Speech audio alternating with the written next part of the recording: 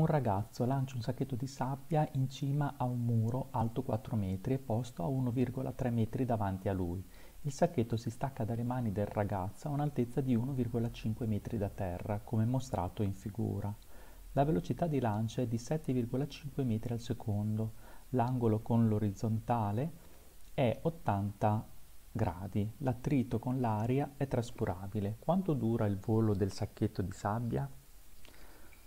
Allora, come prima considerazione prendiamo un sistema di, di riferimento coincidente con la mano dove c'è il sasso, il sacchetto di sabbia che deve essere lanciato x, y e x. Ah, e siccome le componenti del motto sono fra loro indipendenti, quella lungo l'asse eh, verticale, quello lungo l'asse orizzontale, scriviamo l'equazione del motto uniformemente accelerato per le due componenti e avremo che x uguale x0 più v0 vxt più un mezzo a xt quadro. Mentre per la componente lungo l'asse delle y avremo y0 più vyt più un mezzo a yt quadro. Queste sono le equazioni generiche. Andiamo a vedere rispetto al nostro sistema di riferimento cosa vuol dire. Senz'altro le componenti della posizione iniziale sono uguali a 0 proprio per come abbiamo scelto il nostro sistema di riferimento, quindi si annullano. Le componenti Vx e Vy dipende dal nostro vettore velocità iniziale. Sappiamo che il nostro vettore velocità ha modulo pari a 7,5 metri al secondo e che ha un'inclinazione di 80 gradi. Allora vuol dire che possiamo scomporre il nostro vettore velocità nelle due componenti orizzontale e verticale sapendo che questo è l'angolo rispetto all'asse orizzontale. In questo caso applichiamo le formule trigonometriche e possiamo scrivere che Vx è uguale a V coseno di alfa e Vy uguale a V per il seno di alfa questa Vy e questa Vx e questo qui l'angolo alfa. Per quello che riguarda l'accelerazione sappiamo che lungo l'asse delle ascisse l'accelerazione è nulla perché eh, non vi è alcuna forza che interviene su quella direzione e lungo l'asse delle y invece c'è un'accelerazione che dipende dall'accelerazione di gravità. Quindi andiamo a riscrivere le nostre equazioni e avremo che x è uguale a vx, che sarebbero v coseno di 80 gradi e nient'altro. E y è uguale a vy che sarebbe v seno di 80 gradi meno, meno perché l'accelerazione di gravità è diretta in senso contrario rispetto come verso rispetto al nostro sistema di riferimento, un mezzo g t quadro, qui t e qui t. Innanzitutto andiamo a calcolare le componenti Vx e Vy.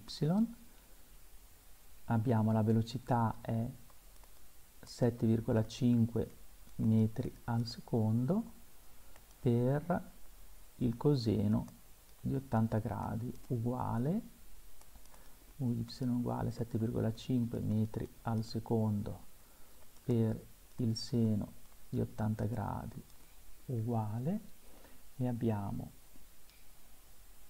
1,3 metri al secondo e 7,39 metri al secondo. Ora andiamo a sostituire nel nostro, nel nostro sistema di equazioni il valore del tempo e risolviamo rispetto alla posizione. Quindi vorrebbe dire che t è uguale, per, per semplicità scriviamo queste componenti come vx e vy, t uguale x fratto vx. Quindi all'interno della nostra espressione di, della posizione rispetto al tempo diventa vy che moltiplica x fratto vx, questo era il tempo, meno un mezzo g x quadro fatto vx quadro che possiamo scrivere come t è uguale x fratto vx e y uguale vy fratto vx per x meno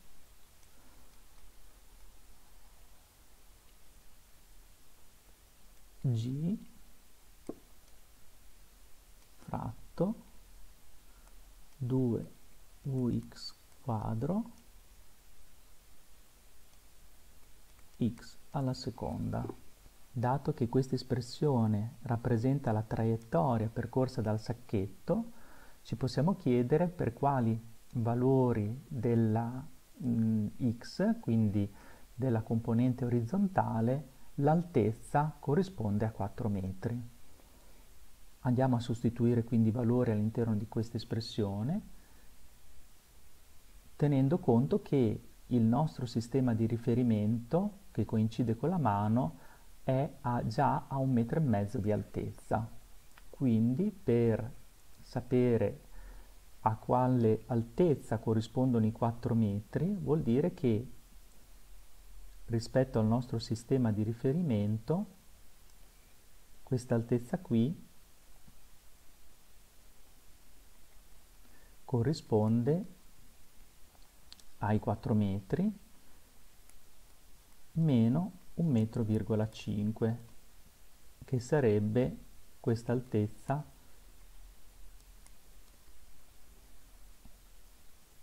che è l'altezza della mano rispetto al suolo. Quindi come scrivere per conoscere qual è questa posizione e questa posizione rispetto al nostro sistema di riferimento dobbiamo scrivere 4 metri meno 1,5 uguale uy l'abbiamo calcolato è 7,39 diviso ux 1,3 per x meno 9,8 diviso 2 per 1,3 Vx alla seconda x alla seconda. Questa equazione diventa 2,5 uguale 5,68x meno 2,9 x alla seconda. È un'equazione di secondo grado che possiamo riscrivere nuovamente come 2,9 x alla seconda meno 5,68 x più 2,5 uguale a 0. Risolviamo questa equazione di secondo grado trovando i due valori, quindi x1, x2 uguale, linea di frazione, applichiamo la formula per risolvere l'equazione 5,68 più o meno la radice quadrata di 5,68 alla seconda meno 4 volte a C che sarebbero 2,9 per 2,5 diviso due volte il coefficiente della x al secondo grado. 2,9 risolvendo questa espressione otteniamo 5 uguale a 5,68 più o meno radice di 32,26 meno 29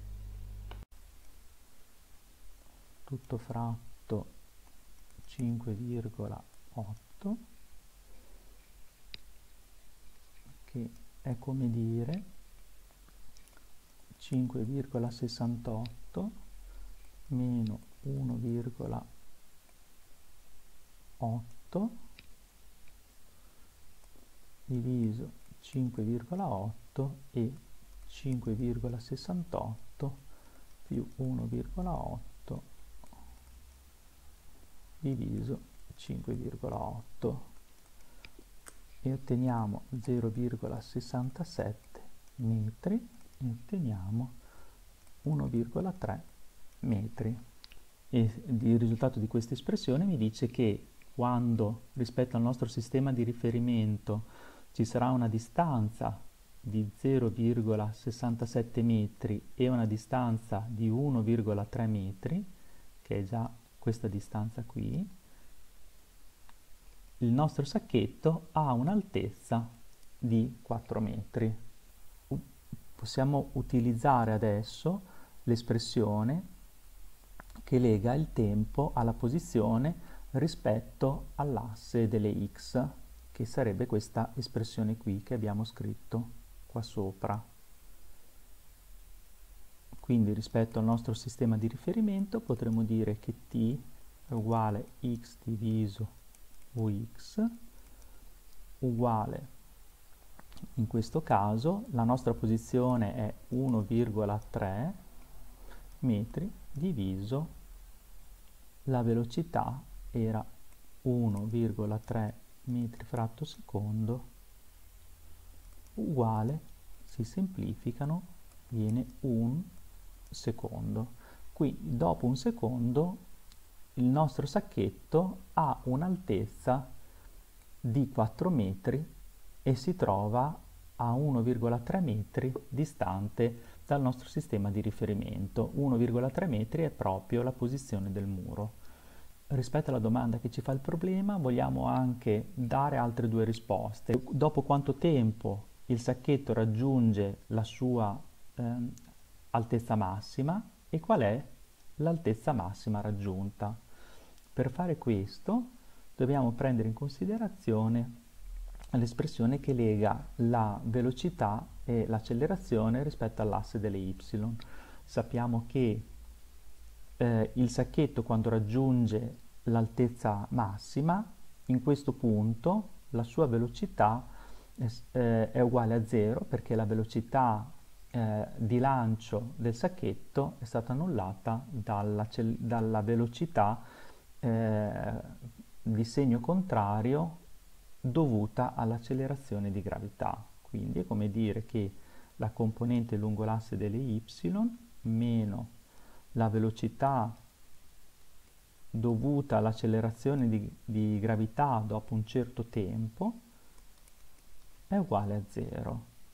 È come dire risolvere rispetto al tempo e trovare Vy rispetto all'accelerazione che è uguale a 7,39 metro fratto secondo diviso 9,8 metro fratto secondo quadrato uguale 0,75 secondi. Quindi dopo 0,75 secondi il sacchetto raggiunge la sua altezza massima. Ci chiediamo qual è questa altezza massima, quindi utilizziamo come espressione questa, la posizione verticale rispetto al tempo e andiamo a sostituire i valori.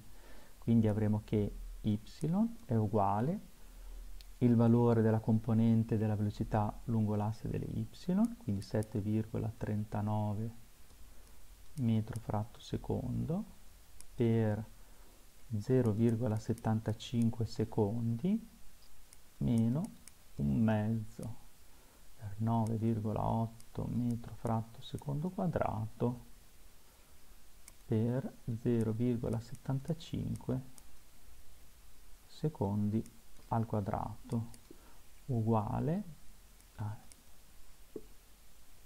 secondo, secondo si semplifica, secondo quadrato e secondo quadrato si semplificano, uguale a 5,57 metri meno 2,79 uguale a 2,78 metri. Quindi rispetto al nostro sistema di riferimento, quando questa altezza è 2,78 metri, abbiamo l'altezza massima. Rispetto al suolo vorrebbe dire che dovremo aggiungere 1,50 metro quindi rispetto al suolo dovrebbe essere 2,78 metri più 1,5 uguale a 4,28 metri. Quindi l'altezza massima raggiunta è di 30 cm in più rispetto all'altezza del muro.